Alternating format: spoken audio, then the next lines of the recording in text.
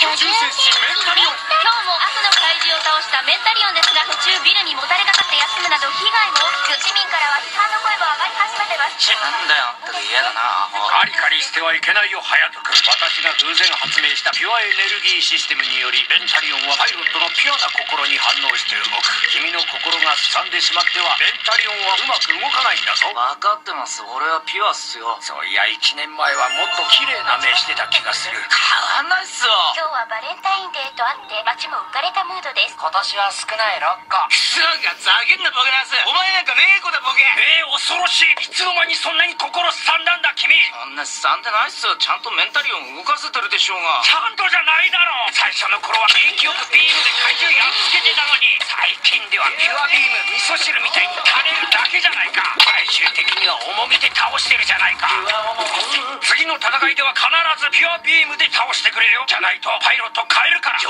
等ですよ。1週間後。それでは新パイロットの最終審査会を始めます。待ってください。俺ちゃんとピュアビームで怪獣倒したじゃないですか。倒したって言うけど君ピュア重みとかいう変な技で抑えた後の A のトロトロビームじゃないか。とにかくパイロット交代は決まったんだ。いたまえ。彼らのピュアな目を。うお気持ち悪い私もさっきからちょっと気持ち悪いんだ。あの一番は大阪の笠本関西屈指のピュアニスト。ついたあだ名が通天ピュア。ピュア天閣。そしてツーピュア格と三拍子揃った実力派。募金が趣味ですが？2番の彼女は確か北海道の北村。玄関から出れないほど雪が積もっても家の中でピュアという徹底したピュアニスト。お花畑しか歩きたくないんですが？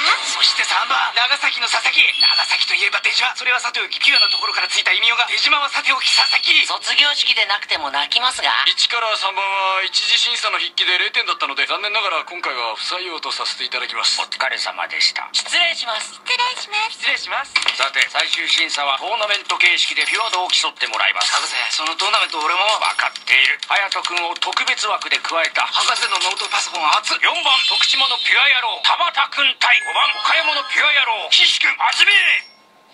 動かない。かれこれ1時間動かない。まだまだ長引きそうだな。トイレに行ってくる。失礼。上官もう3回目ですよ。頻尿じゃないですか。長官は頻尿だな。ようやく一つ見えた私のキャラが頻尿とは。さあどうした？何かしないと勝負がつかんぞ君たち。えー、じじゃあええっと俺すごいピュアあーじゃあ有効。じゃあこりゃトーナメントにして失敗したランチが開かないからピュアドアピールは今から一人一回ずつとする。このルールの登場によりトーナメントは急速な展開を見せることになる。俺これ以上ないほどピュアですそりゃすごいピュアだ。技あり第2試合元パイロット郡上八幡隼人対東京のピュアインテリ柏木。この試合始め先にえげつないほどピュアですと言えば必勝。俺えげつないほど。な何ちち悪いけど先に言わせてもらうよ僕はえげつないほどのピュえてるてるてるてるてる舐めてる濡れてる犬に舐められるのとはわけが違うぜ来たねそうか君負けたのか乾杯です決勝は隼人君対岸君。俺の口を塞げるものなら塞いでみな。かぶれるぜ。僕には秘策がある。始め。俺はえげつない今俺の口を塞いで自分で舐めやがった。これが僕の秘策さ。では言わせてもらうよ。僕えげつないほど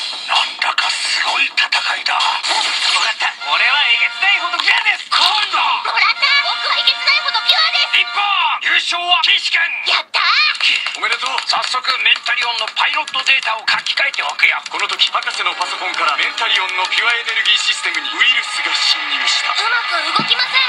何？君ピュアじゃないんじゃないのか？僕はえげつないほどピュアですよ。大変今調べたらピュアエネルギーシステムがなぜかすさんだ心にしか反応しないようになってしまってた。こうして郡上八幡隼人はパイロットに復帰した。人がゴミのようだ。いいビームが出るようになった